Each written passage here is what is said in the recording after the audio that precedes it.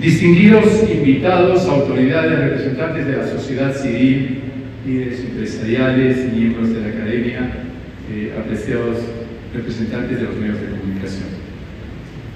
Es un honor darles la bienvenida a esta, la 32 edición de Cada Ejecutivos, organizado por IPAE Acción Empresarial, en la vibrante Arequipa, ciudad en la que nací y después de 12 años. Vuelve a ser la sede del foro empresarial más importante del, país y es el escenario adecuado para dialogar sobre la reconstrucción del futuro de nuestra nación. Agradecemos el liderazgo, el empuje de la Cámara de Comercio e Industria de Arequipa, así como a TEXUR, al Gobierno Regional y a la Municipalidad Provincial de Arequipa, nuestros grandes aliados, quienes nos han brindado todas las facilidades necesarias para estar aquí. Hoy me presento ante ustedes para hablar de un tema crucial que define no solo el presente, sino también el futuro de nuestra nación.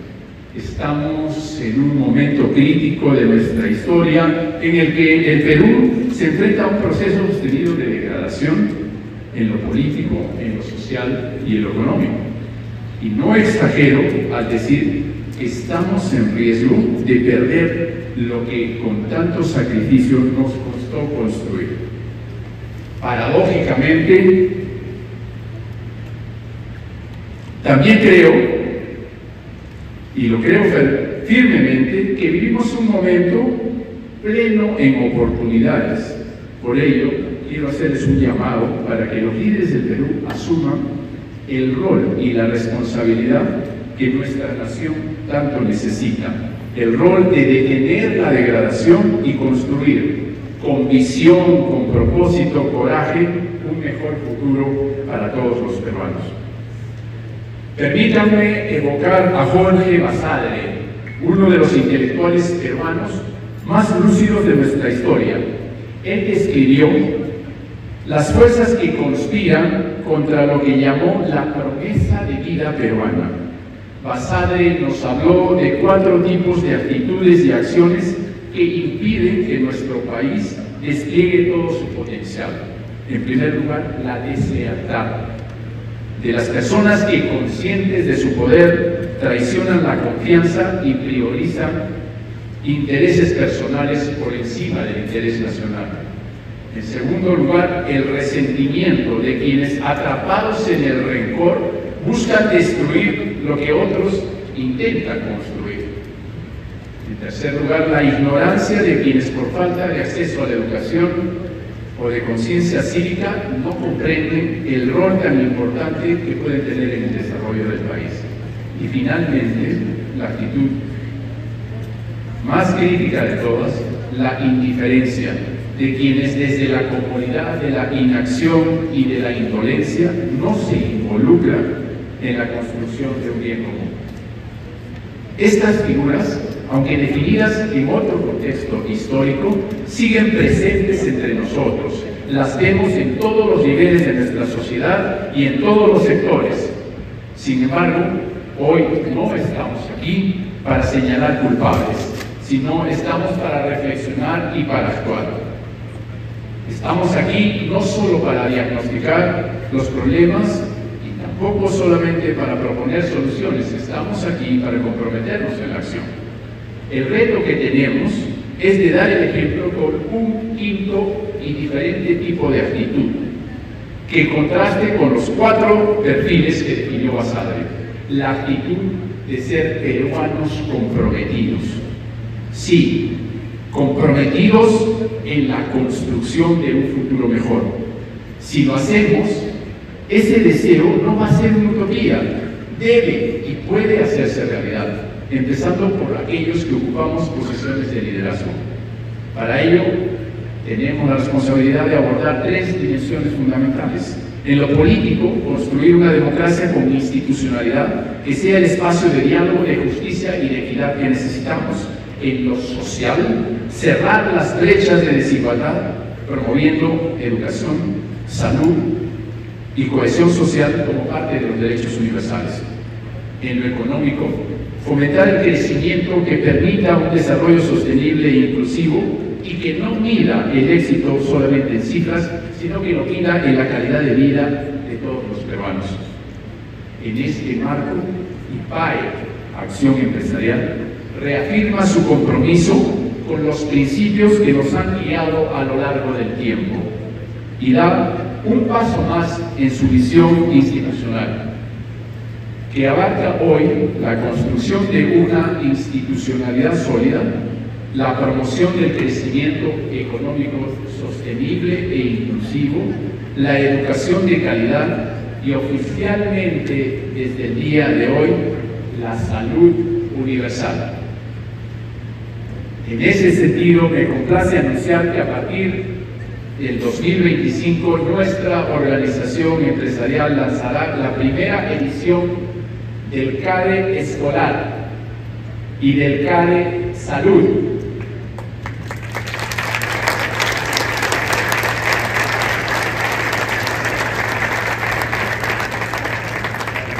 y además ampliaremos el número de réplicas de CADE universitario que ayer en Arequipa completamos en un número de 12 y las de CADE Educación y las reuniones preparatorias de CADE Ejecutivos. Esta expansión es solo el inicio de los nuevos retos que asumimos con entusiasmo y con la certeza de que contamos con su apoyo y colaboración. CADE Ejecutivos 2024 dejará además un legado en Arequipa. Nos enorgullece presentarles Epicentro, una iniciativa inspiradora de cooperación público-privada en la rehabilitación modelo de la emblemática calle de Santa Catalina en el centro histórico, gracias a la colaboración de IPAI Acción Empresarial, la Municipalidad Provincial de Arequipa, el Ministerio de Cultura, la Asociación de Hoteles y Restaurantes, la Universidad de San Pablo, la Cámara de Comercio e Industria y, el gestor inmobiliario Inventa SAC y la Fundación Nosotros.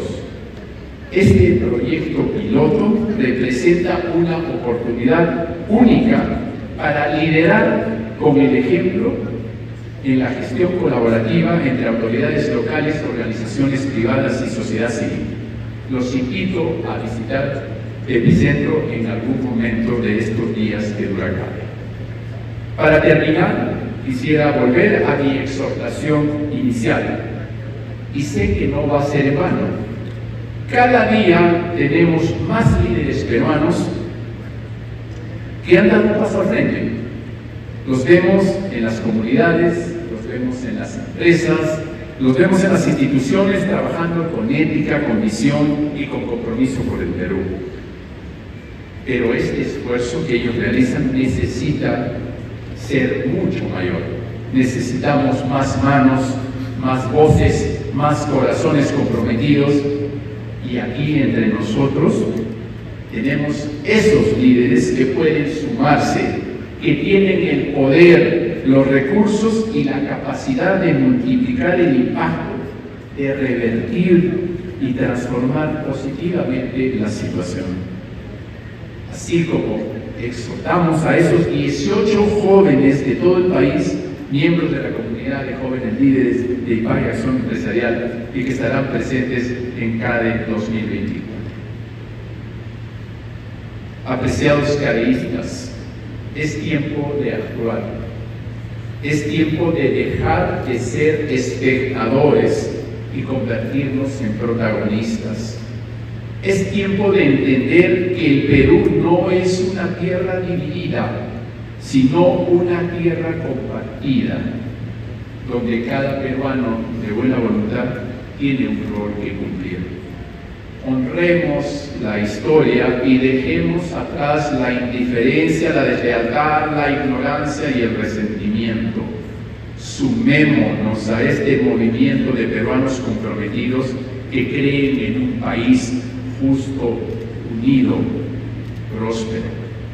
Lideremos con coraje, construyamos con esperanza y demostremos al mundo que el Perú puede levantarse una vez más orgulloso, más fuerte y más competitivo que nunca.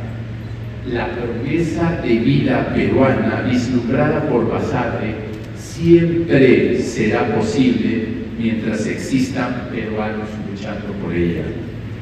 Porque al final el Perú somos todos y el futuro que soñamos depende solo de nosotros.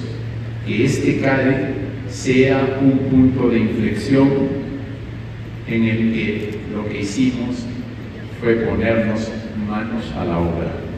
Juntos debemos, juntos podemos, juntos lo haremos. Muchas gracias.